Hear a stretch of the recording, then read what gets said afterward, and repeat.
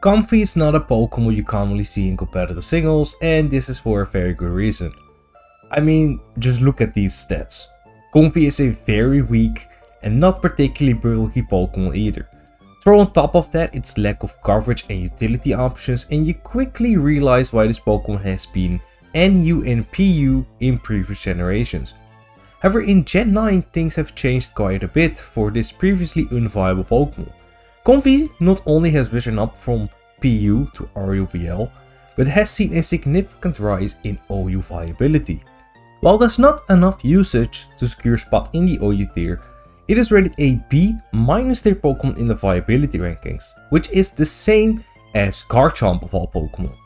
This is a huge step up from its previous unranked tiering. So what changed for Comfey in Gen 9? And how did it suddenly become an actual decent pick in competitive singles? What really makes Comfey stand out is its very strong signature ability Triage.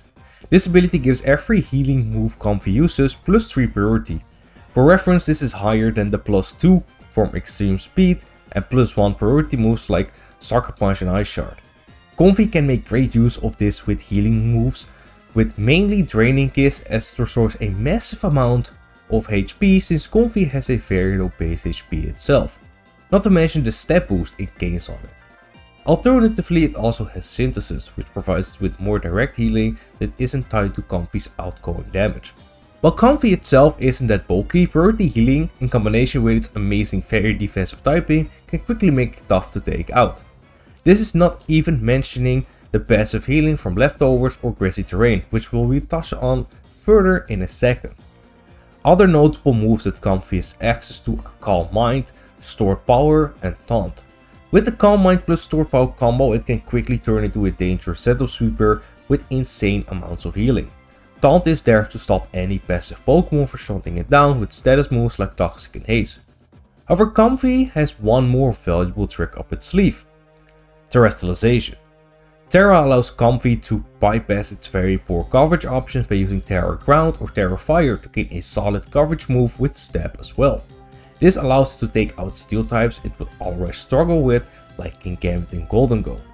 Tera Poison is an alternative option if Synthesis is used over Taunt to stop toxic attempts.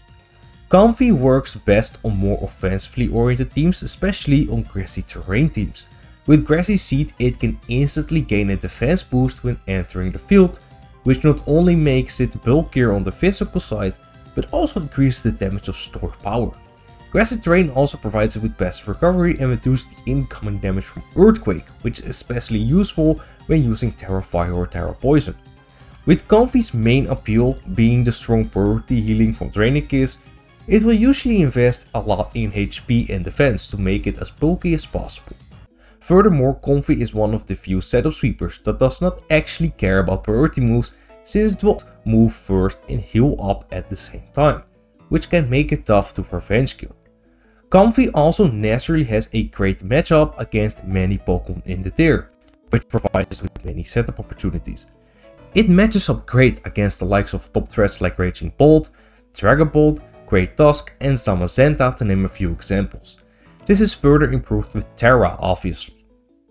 All in all, while Comfey is not a top tier threat in Gen 9, it is actually a somewhat viable option now, which is a massive improvement from previous generations. It's actually quite refreshing to see a kind of previously underperforming option like Comfey be decent in a generation with ridiculous power creep. But let me know your thoughts about Comfey in the comments. And consider liking the video and subscribing to the channel if you are new. You can also become a member to support the channel even more if you would like. Thank you for watching and I'll see you next time.